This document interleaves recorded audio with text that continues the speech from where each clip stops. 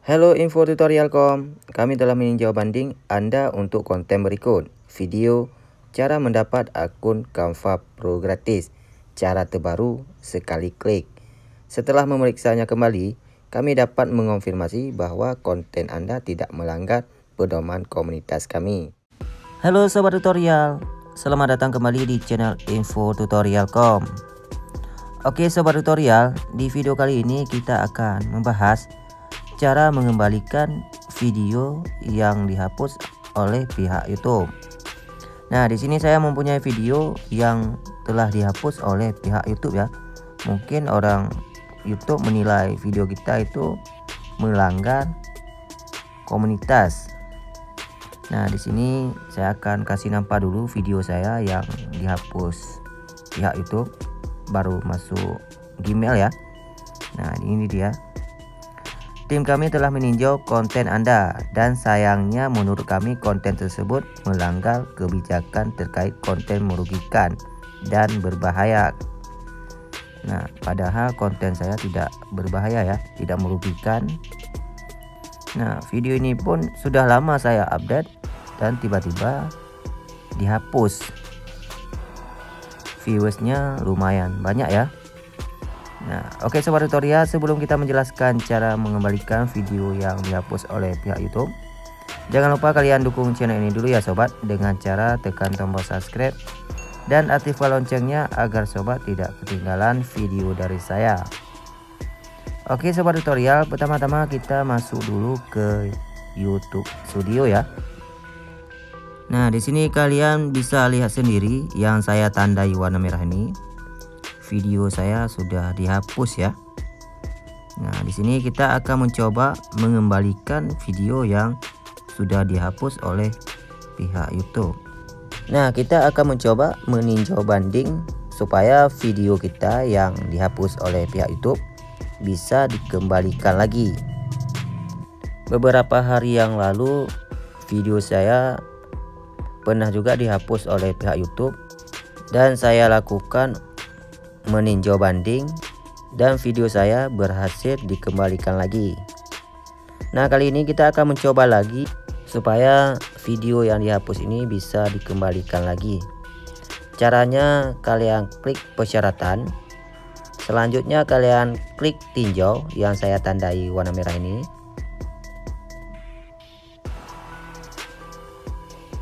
Nah selanjutnya kalian baca dulu yang tujuan masalahnya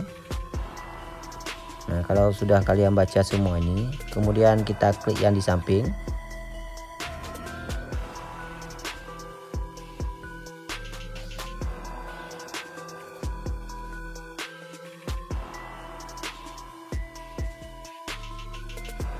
Kalian klik periksa konten Anda. Nah selanjutnya kalian geser ke samping lagi Nah, di sampingnya selesaikan peninjauan Anda. Ingin mengajukan banding dan meminta kami meninjau kembali. Nah, selanjutnya kalian pilih saya ingin mengajukan banding, konten ini tidak seharusnya dihapus. Nah, kalian pilih nomor 2.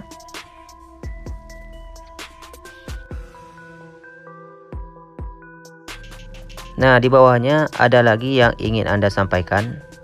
Nah, selanjutnya kalian checklist yang di dalam kotak saya ingin memberi komentar. Nah, di sini kita akan isi komentarnya ya. Nah, saya sudah sediakan tinggal copy paste. Nah, kita buka dulu catatan. Nah, di sini kita copy dulu.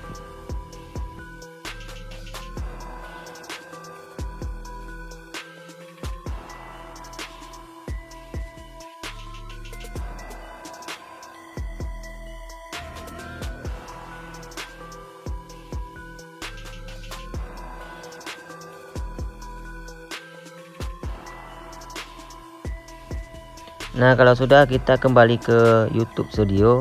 Nah, di sini kita tempelkan.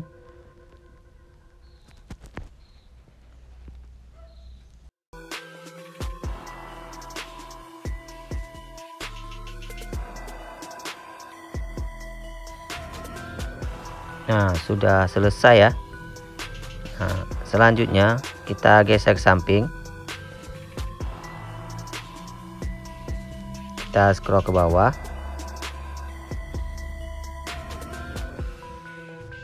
Selanjutnya kalian klik kirim yang saya tandai warna merah ini ya. Nah, sudah berhasil ya. Terima kasih atas ulasan Anda. Nah, kita tinggal tunggu masuk dari Gmail ya nanti ada pemberitahuan dari YouTube melalui Gmail nah contohnya ada sini video saya yang sebelumnya sudah berhasil saya kembalikan kita akan kasih contoh kita buka dulu Gmailnya